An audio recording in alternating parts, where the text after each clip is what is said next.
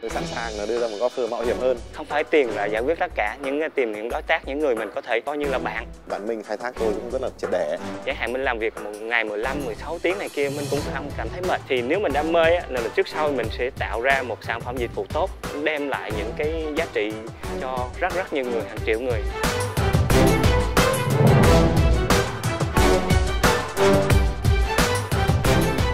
thì xin mời à, Shark Hưng của chúng ta cũng như là anh Minh sẽ cùng xem lại hình ảnh của anh Minh và Popo một năm về trước, được không ạ? Xin mời. Startup tiếp theo đã tạo ra một sản phẩm phục vụ cho nhu cầu sử dụng điện tiết kiệm. Chúng ta hãy cùng xem sản phẩm đó như thế nào nhé.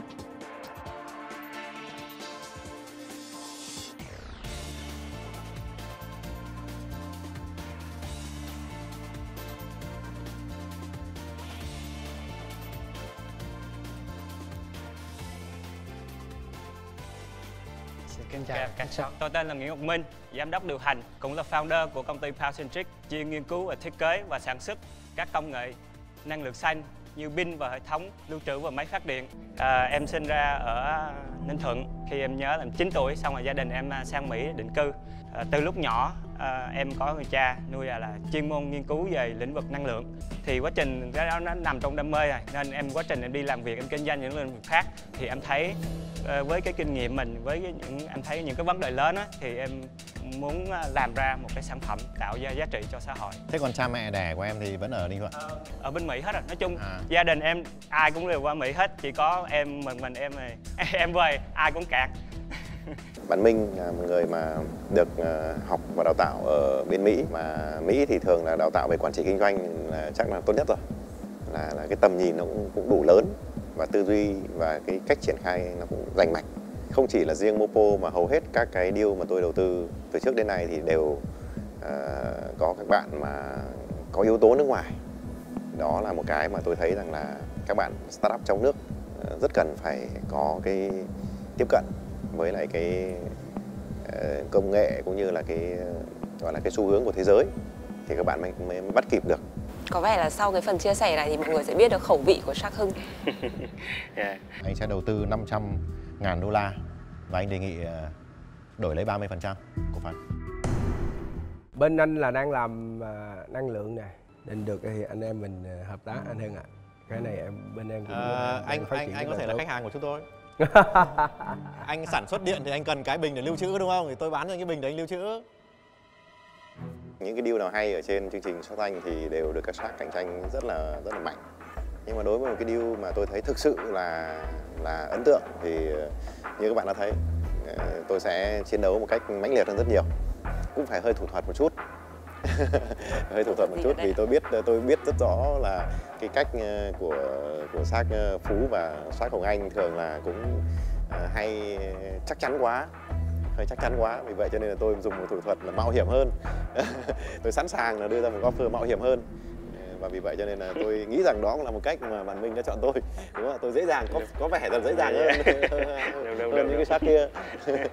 Anh đồng ý cái tỷ lệ 25% giống như là điều bên kia. Đầu tư cho em một triệu trong đó là 500 ngàn bằng cổ phần và 500 ngàn nữa là bằng uh, hình thức cho vay chuyển đổi. Dạ, vậy anh chịu nhận 20% cho những cái Không, anh đề nghị 25%. Thành phố xin lỗi anh bên, bên em chọn quyết định chọn anh Hưng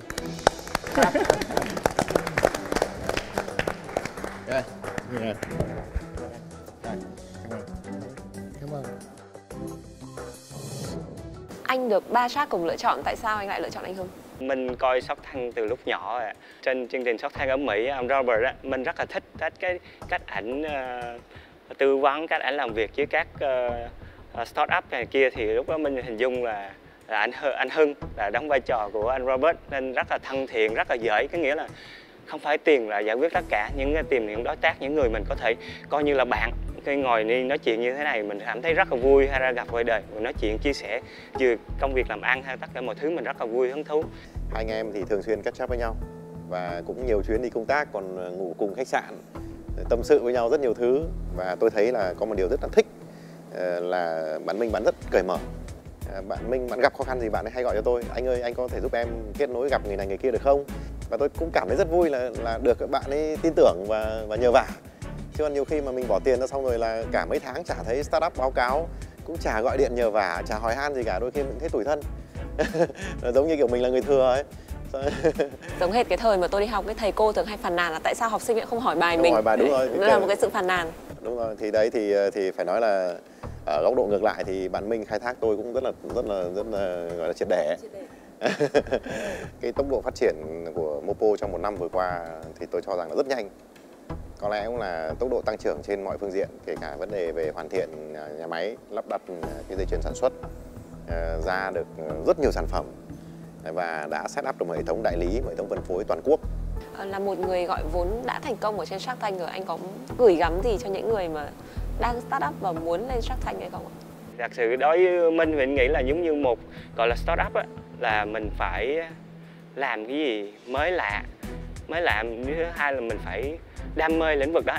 Chẳng hạn mình làm việc một ngày 15 16 tiếng này kia mình cũng không không cảm, cảm thấy mệt. Thì nếu mình đam mê là mình trước sau mình sẽ tạo ra một sản phẩm dịch vụ tốt. Sản phẩm dịch vụ tốt là tự nhiên nó đem lại những cái giá trị cho rất rất nhiều người hàng triệu người. À, xin cảm ơn Shark Hưng và Minh đã chia sẻ với chúng tôi câu chuyện của hai người trong suốt một năm vừa qua và hy vọng rằng là một năm này nó sẽ nhân lên nhiều năm nữa và chúng ta sẽ còn mãi đồng hành cùng với nhau. À, xin cảm ơn Shark. ok cảm ơn em Xin cảm ơn Minh.